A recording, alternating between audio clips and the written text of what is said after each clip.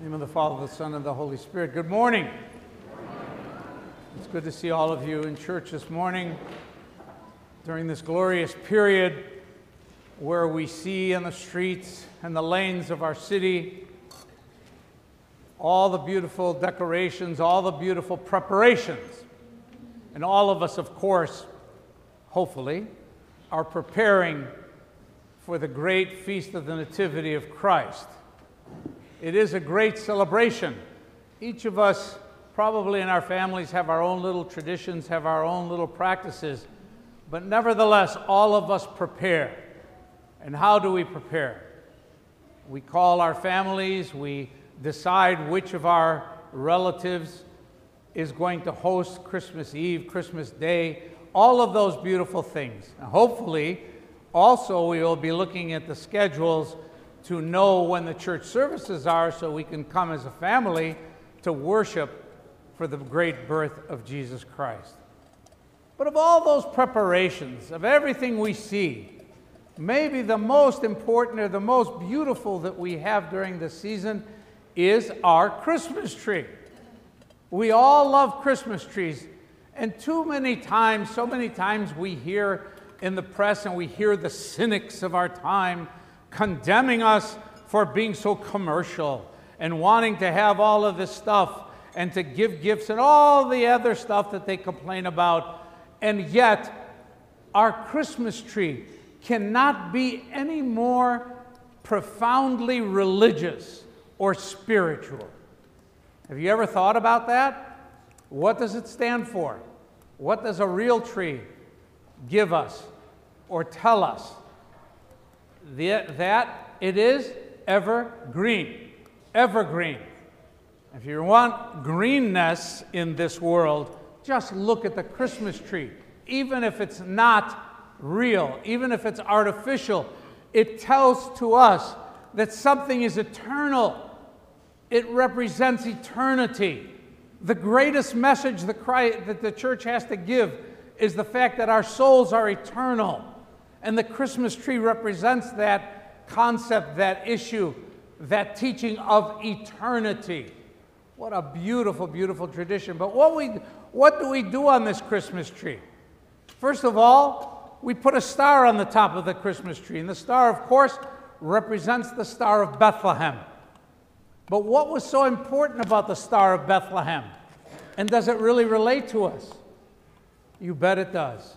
Star of Bethlehem directed the shepherds. The Star of Bethlehem directed the Magi.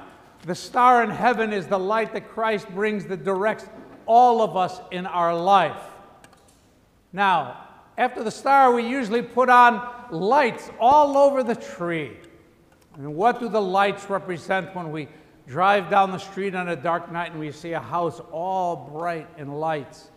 What is the first thing that should come to our minds? Or when we walk into our living room and we see our tree full of lights, the first thing that comes to our mind is that Christ is the light of the world. Those lights represent the great light that He brought into the world. Just like when you light a candle, when you come into church, you're telling Christ, I believe that you are the light. You have brought light into my life, into this world. And no matter how much darkness I'm experiencing in my life, that light will direct me. That light will brighten me. That light will never allow me to succumb to darkness. And at Christmas, with all the different color lights, it is even a more profound expression of, of love to God. It's like doing your cross, which is telling God, I love you. It's the same effect when you plug in those lights. You're showing the world and everybody who sees that tree that you love God and you believe He is the light of the world. What else do we put on that tree? We put ornaments, beautiful ornaments. So, what do those ornaments represent? They're us. They're, they're not really us, they're our talents. They're the gifts God has given us. Those are all of the talents. Just look at what God has given you your abilities, your talents. Every one of you is different. Every one of you is special because God put his own fingerprint on you. So you will be different and more expressive and just as important as anybody next to you.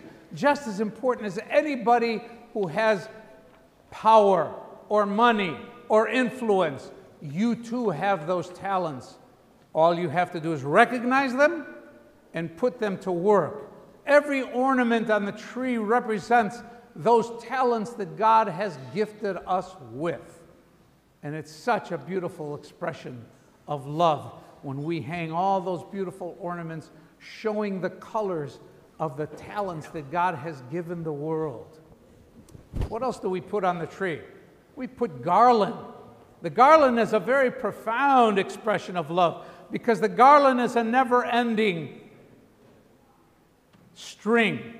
The never ending string represents the sacraments of the church and the love that God gave us by leaving us and developing the love of the church and the traditions of the church. One tradition is music. That music in the church that you hear from the choir and the chanters, that music brings us to a spiritual realm. And though that garland tells us that we are all connected in Jesus Christ, we're all together, we are all one family, never ending.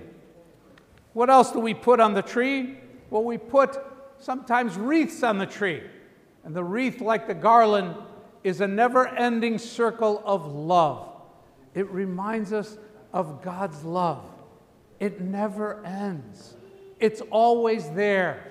No matter how much pain we have in our lives, no matter how much glory we have in our lives, or happiness we have in our lives, it's never ending if we turn to God and say, You are the one who presented me and gifted me with this love. Now, under the tree, we have gifts. Oh, the gifts are really important, aren't they? Of course they are. We take a lot of effort to get that special gift for those people that we care about and love. And indeed, those gifts have a very important purpose. Because who is the greatest gift? What is the greatest gift we have ever received? And that was Jesus Christ. And he was born in the manger on Christmas Day for one purpose and one purpose only to save us. He came here to sacrifice himself, to give of himself, so that we never, ever would know death or the end. Up to that point in history, the Jews believed that death was the very end, there was nothing beyond. Christ came and changed all that and told us that if you believe and you follow me, you indeed will never know death. And that's what Christmas is all about. It's the greatest gift we ever received. Of course, the center of our faith has to do with our sacrifice and our personal resurrection, our personal Pascha. But without that gift, the Pascha would not be able to happen. It would have never been.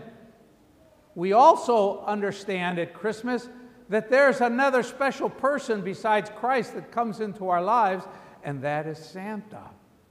Is Santa real? Oh, you bet he is. You bet he is. Because Santa Claus didn't just fall out of the sky. The concept of Santa Claus and the belief of Santa comes from the life of a beautiful saint of our church that we celebrated last week, St. Nicholas of Myra. But no matter if it's St. Nicholas, no matter if it's St. Basilio, St. Basil, no matter if it's St. Nectarios, all these saints are our models. They're our teachers. They give us the ability to live the kind of life we need, indeed, to really experience what Christ promised us of course, salvation. He promised us that, that if we believe in Him, we will never know death. That's why He came to earth. That's why He was born in the humble manger for all of us to understand that life goes on, even if an accident or an illness takes us from this physical world. That's only the beginning, the beginning of our souls experiencing eternity. And finally, we uh, understand this on a beautiful level. And all we have to do is look at the icon. I know there's one here somewhere? Icon of the Nativity of Christ. When we look at that icon, we realize that this humble scene, this humble reality, brings us the gift, the greatest gift that anybody could ever understand or ever have in life, and that is the birth of the Savior. That we will be saved if we believe in Him. You, each and every one of you, my brothers and sisters, are the Christmas tree. We have that tree within us. All we need to do is show it off. All we need to do is plug it in. That's why we come to communion. That's why we participate in the sacraments and the traditions of the church. Because when we leave the, the, the, church, when we encounter others, others maybe having difficulty or pain, a simple hug, a simple expression of love tells that person that indeed we believe that in Christ and we believe that you too could have the light if you follow me, because that's what Christ said. Leave everything and follow me. That's what you tell people when you do the sign of cross at a restaurant in front of you. You're telling everybody that sees you, I believe that Christ is the light of the world. Follow me. Follow me. That's the important and profound message of Christmas.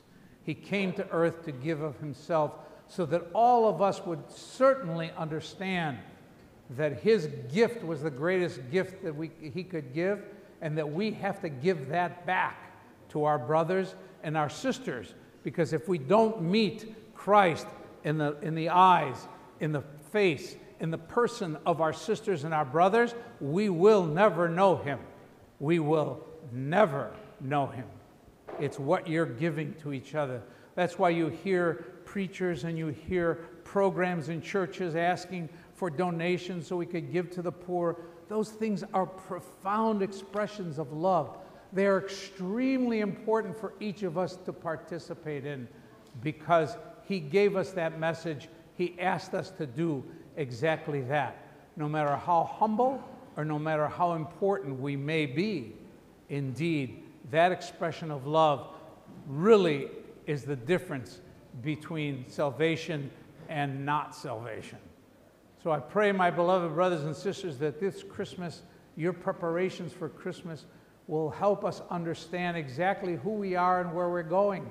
And I hope that you teach your children when you're finishing the tree or finishing the decorations how important and how spiritual those decorations could really be, especially when you take an icon of the, of the Nativity, and you can get one probably in the bookstore, I hope.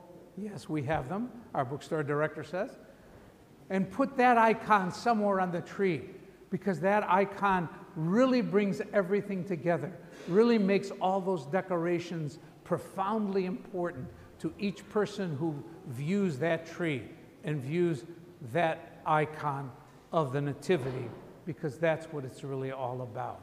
God bless you, and I hope and pray that this Christmas is a glorious one and brings you much joy and happiness and much direction that Christ has brought into the world, for he loves each and every one of us in such a special way.